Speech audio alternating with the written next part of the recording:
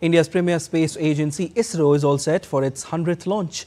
The mission is likely to take place on 29th of January. It will be a GSLV mission for a navigation satellite. In an exclusive conversation with DD India's Shubhendu Ghosh, ISRO's new chairman Dr. V. Narayanan said the space agency has come a long way from its humble origins and this upcoming milestone is a matter of great pride for all Indians. Its 100th mission and launch, what can you tell us about it and how does it pave the road ahead? Uh, in fact, it is uh, to think itself, it is a very so exciting to think. Uh, 1979, we had the first SLV rocket launch.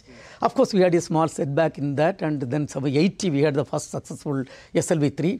From that, we have come a long way. From Sriharikota, from three launch sites, uh, this is the 100th launch. It is the Mark II uh, vehicle called F-15 vehicle.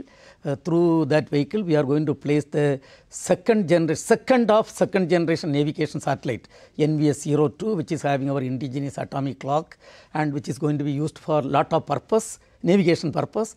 That is the launch what we are targeted on uh, 29th of uh, this month.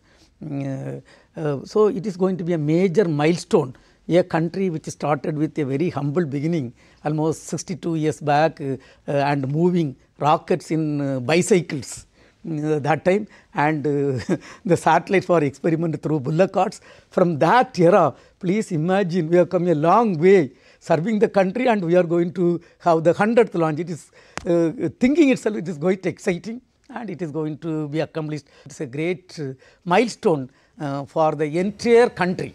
Uh, so, every citizen can be proud of uh, that milestone also.